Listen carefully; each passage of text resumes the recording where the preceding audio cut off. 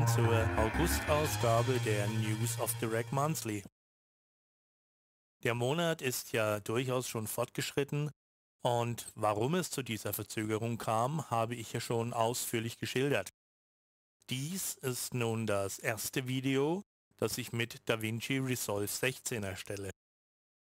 Ich habe mich auch entschlossen, Woche 10 gleich mit reinzupacken, damit die Neuigkeiten wenigstens einigermaßen neu sind. Der letzte Monat hat uns wieder viele neue Module gebracht und einige Modulentwickler, die wir schon aus React 0.6.x kennen, sind nun auch wieder dabei. VCV Rack ist nun bei Version 1.1.4 und die Tech-Struktur im Plugin-Browser wurde verändert. Man sieht, die Entwicklung bleibt nicht stehen. Und so müssen auch die Modulentwickler ständig Updates veröffentlichen, weil ihre Module sonst Systemabstürze verursachen. Gerade in letzter Zeit war das immer wieder zu beobachten, aber innerhalb weniger Tage wurden immer wieder alle Probleme behoben. Wenn man bedenkt, dass wir in den meisten Fällen hier immer noch von frei erhältlichen Modulen sprechen und die Entwickler das alles in ihrer Freizeit machen, ist das zum einen keine Selbstverständlichkeit und zum anderen verdient das höchste Anerkennung. Wenn also mal wieder ein Modul einen Systemabsturz verursacht, habt Geduld, alles wird gut. Und jetzt zu den Nachrichten. Neue Module. Die Module von Aridacity standen bereits in Reg 0.6.x zum Selbstkompilieren zur Verfügung. Nun ist der Entwickler auch im Plugin Manager vertreten. Bisher gibt es den Clock Divider, Clock Diff, den Bit Crusher, B-Crush und den Hard Clipping Limiter, Clip. Viquid veröffentlichte Version 1.1.0 von Anomalies. Dies sind die Chaotic LFO Module Dadras, Halvorsen, Lorenz, Zakaria, Sprotlins F und Thomas, die alle auf den gleichnamigen Strange Attractors basieren. Langour kombiniert in sich mehrere Attraktoren. Dual Attenuverter enthält zwei polyphone Attenuverter. Xpans ist ein größenveränderbares Blank-Modul und Full Scope Black Edition eine Version des Full Scope von JW Modules. In der Reihe Fundamentals wurde der VCV Quantizer veröffentlicht. Außerdem erhielt in Version 1.2.0 VCV Octave einen CV-Eingang. SLM hat in Version 1.1.0 nicht nur sein Design verändert, sondern auch noch das Modul Taylor veröffentlicht, ein Waveform Morphing Tool, entsprechend WTF von Dove Audio bzw. WCO von Edge. In Version 1.1.1 hat Clear Factory sein Plugin Overdub um zwei Module erweitert. Out ist eine Outbreak Box und SND ein einfacher AUX Sendstrip. Overdub ist in der Hall of Fame Edition enthalten, kann aber auch separat erworben werden. Neu ist ebenfalls der Octa-Sampler, ein 8-Spur-Stereo-Sampler und optimiert für den Einsatz mit Wonky Sec. Deshalb ist er auch in diesem kommerziellen Plugin enthalten, aber auch in den Editionen Titanium und Hall of Fame. Die Module von Wrong People sind mittlerweile auch im Plugin Manager erhältlich. Das Plugin enthält den Script Interpreter Lua, den Tourette-Syndrom-Simulator Tourette und den Multitrack MIDI-File Player MIDI Player. Good Shepherd ist nun auch im Plugin Manager anzutreffen.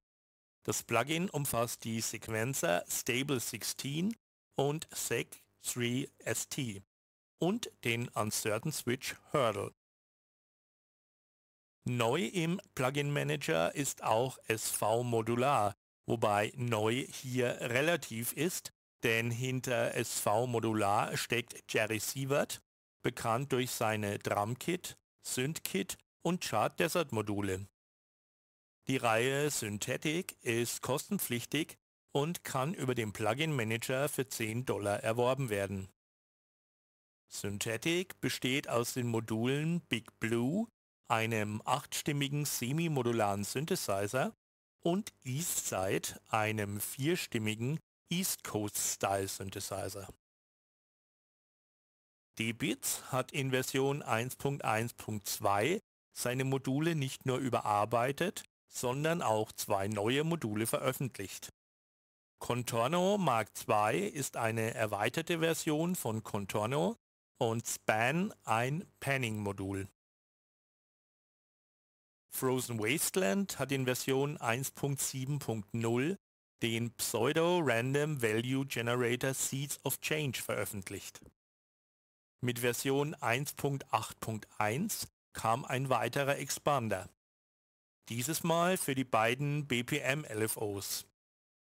Phase X ergänzt diese um bis zu zwölf unterschiedliche Phasenausgänge.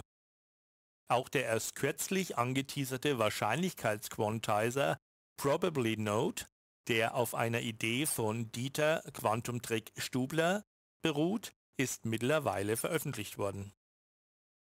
Skryler baut seine Plugins Skylights bzw. seine Version der Turing Machine mit Version 1.0.2 und dem Vectorizer weiter aus.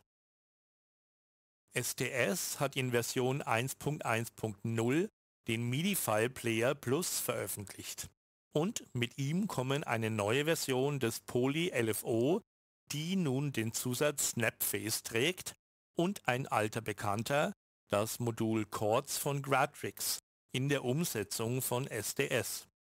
Letzterer muss noch selbst kompiliert werden.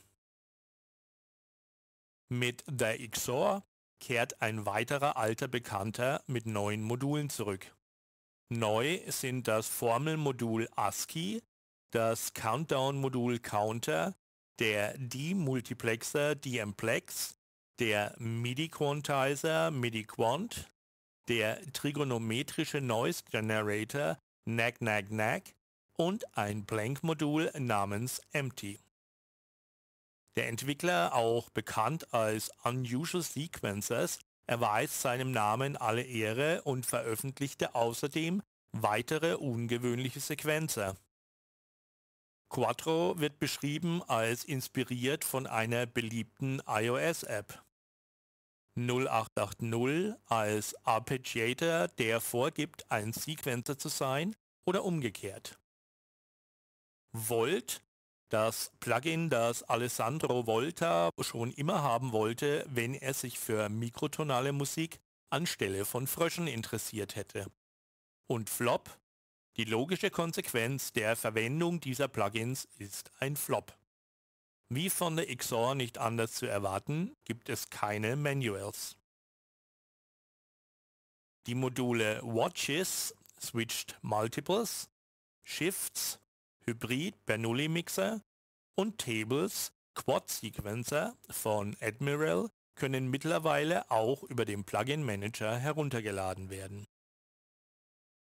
Schmickle Works ist noch nicht im Plugin Manager, aber die Version 1.0 Beta 1.7 kann als Binärcode zum Selbstkompilieren oder als Windows-Version auf der GitHub-Seite des Entwicklers heruntergeladen werden.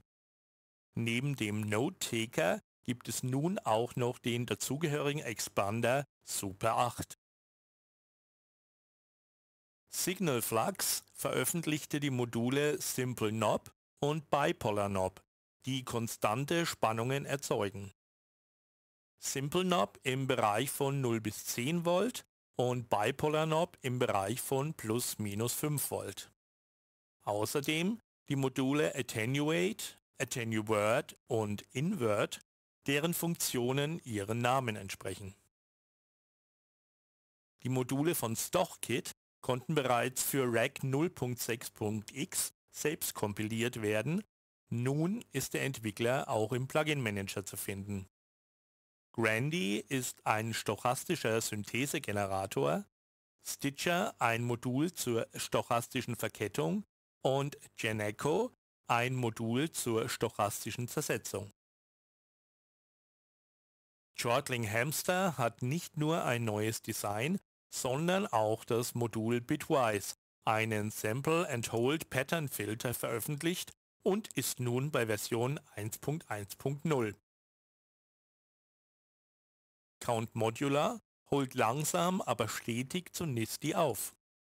Das Verhältnis ist zwar immer noch 49 zu 120 zugunsten von NISTI, aber der Graph offeriert uns vier neue Module. Dies sind der Slope Detector sowie der Gate Comparator und zwei dafür vorgesehene Expander. GXRM steht für Random Melody, GX Logic für Gate Logic. Catro Modulo ist zwar schon seit einiger Zeit im Plugin Manager vertreten, neu sind aber seine Blink-Module Catro Blanco. Diese haben alle einen CV-Eingang und fünf Modi, um sie zu animieren. Die MPE-Technologie findet dank Rolly Seaboard, Linstrument oder Keyboard immer mehr Liebhaber. Auch VCV Rec unterstützt diese mehrdimensionalen Controller. Mo DLLZ hat dafür die Module MIDI Poly MPE und MIDI 8 MPE veröffentlicht. Für alle, denen 16 Audio-Ein- und Ausgänge zu wenig sind, kommt von Störmelder das Audio-Interface Audio 64. Auf der GitHub-Seite des Entwicklers kann bereits eine Beta-Version heruntergeladen werden. Neues von Entwicklern und weitere Neuigkeiten. VCV-Rec Version 1.1.4 wurde veröffentlicht. Die Änderungen sind im Changelog nachzulesen. Systemabstürze der neuen Version sind in der Regel darauf zurückzuführen, dass Plugins nicht kompatibel sind oder dass in eurem Plugins-Ordner noch ältere Versionen eurer Plugins sind, vielleicht unter einem anderen Namen. Die Datei logtext dokumentiert den Grund des Absturzes. VCV hat seine Fundamental-Module an die neue Version angepasst. Diese sind nunmehr bei Version 1.2.1. Die kostenpflichtigen VCV-Host-Module zur Einbindung von VST2-Plugins in VCV Rack wurden überarbeitet. In Version 1.0.4 wurde unter anderem VST Shell Support für Plugins von Waves Audio und Expert Sleepers hinzugefügt. VCV akzeptiert nun für Käufe über den Plugin Manager Google Pay, Apple Pay sowie Kreditkarten, PayPal und Bitcoin. Version 1.1.2 von Count Modular brachte zwar keine neuen Module, aber zahlreiche Verbesserungen vorhandener Module. Friedrichs Audio hat angekündigt, dass es von seinen kommerziellen Modulen doch eine V1-Version geben werde. Möglicherweise werden die Module dann sogar frei erhältlich sein. Auch Submarine hat mit Version 1.0.3 Verbesserungen vorgenommen und Fehler behoben.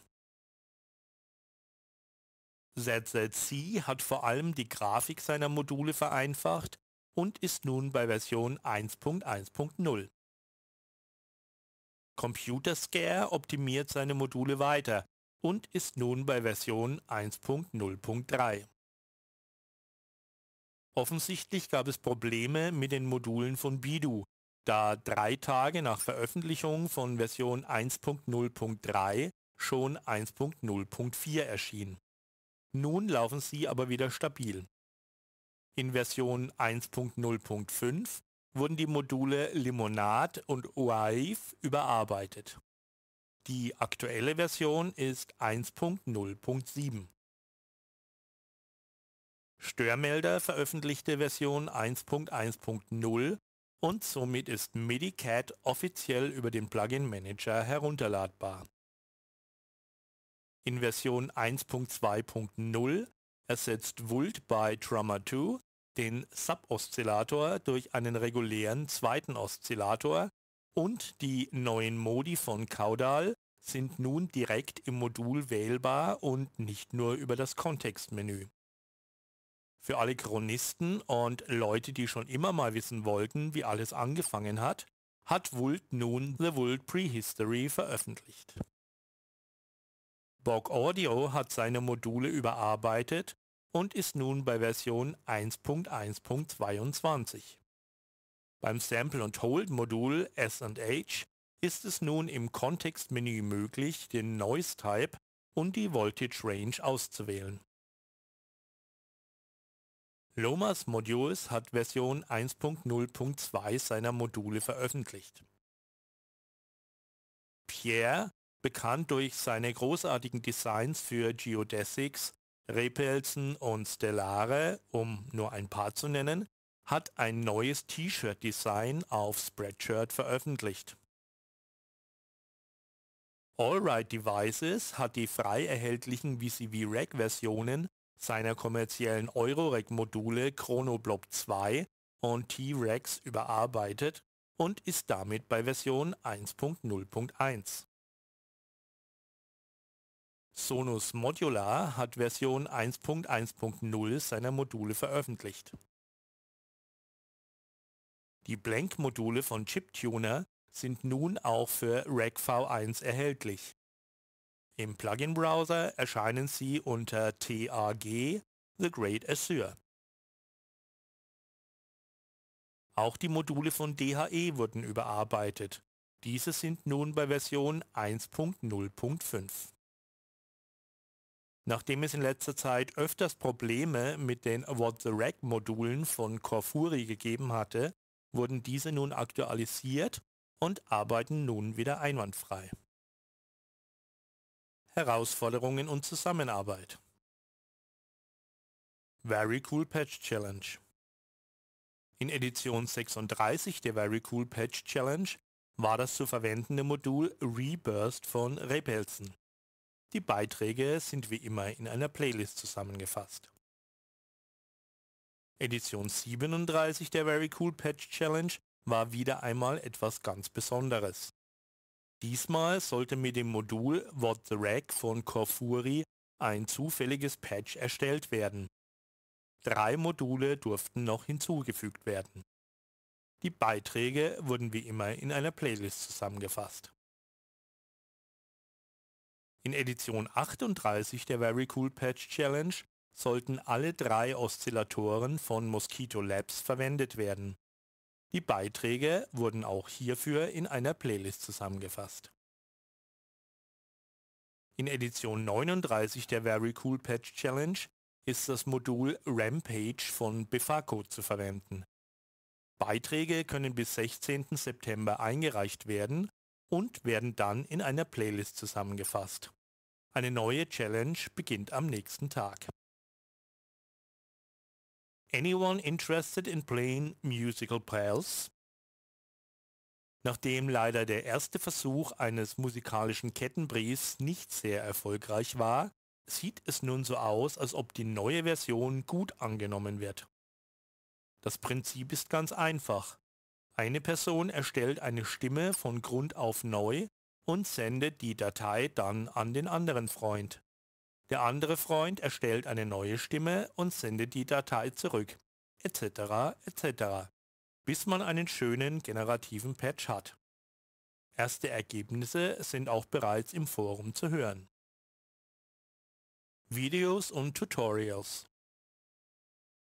Cartronomics Integrating VCV Rack with Ableton Live. Cyball. Touch OSC VCV Rack Tutorial. David Coffin. VCV as MIDI FX Federico Soler Fernandez. Day 16 Stages Segment Generator. Audible Instruments VCV Rack Day 17 Marbles Random Sampler Audible Instruments VCV Rack Day 18 Tides, Tidal Modulator 2, Audible Instruments VCV Rack. Day 19, Even VCO, Befaco VCV Rack. Day 20, Rampage, Befaco VCV Rack. Jerry Sievert, Synthetic. Und? Intro to Eastside und? Designing a Fat Bass Sound. Jim Aiken, VCV Rack Modular Synthesis Beginners, Ready to Rack Basics. Modular Curiosity, Modular Deconstruction Episode 1 Final Patch. Omri Cohn, Additive Synthesis in VCV Rack. Und Let's Build a Bookler Style Patch in VCV Rack. Und Circle Fade VCV Rack Livestream. Und Geodesics Module Series Part 7 Taurus und Geodesics Module Series Part 8 Fate und Geodesics Module Series Part 9 Energy. Und Beginners Patches Introduction. Und Beginners Patches 1 Basic Sequence. Und Beginners Patches 2 Oscillators and Modulation. Und Beginners Patches 3 CV and VCF und Transposing inside a scale in VCV Rack und RJ Modules VCV Rack Livestream und Patreon Q&A Number 1 und Impromptu 12 Key. Und Mutable Instruments Braids Synthesis Model Series Number 33 und The XOR Modules VCV Rack Livestream und Patch Dissection. Und Let's build another generative patch in VCV Rack. Shown do Postman VCV Rack tutorial Erica Black Wavetable VCOs Pulsar Part 1 und VCV Rack Tutorial Erica Wavetable VCOs through Geodesics Pulsars 2 VCV Rack Ideas Techno VCV Rack Template Fixed and Mapped with Touch OSC und How to make Techno Patch from scratch in VCV Rack V1 und Creating Perfect Sequences with ZZZ FaceSec in VCV Rack. Und Mutable Instruments Elements in VCV Rack 20 Sounds. Waves Unlimited, Was möchten da Knopf, The Next Generation Episode 1, Setup Oszillatoren 1. Und What does this knob do The Next Generation Episode 1 Setup Oscillators 1. Sollte ich jemanden übersehen haben, tut es mir leid. Gebt mir dann bitte Bescheid. Das waren die News of the Rack für den Monat August 2019. Und bitte vergesst nicht die wichtigen Links unter dem Video. Eine neue Zeitungsausgabe erscheint jeden Montag und ein neues Video am Anfang des nächsten Monats. Und nicht zu vergessen, vielen Dank an Andrew Belt und alle Modulentwickler, ohne die das alles nicht möglich wäre. Das war's von mir, lasst es euch gut gehen und viele kreative Momente. Servus.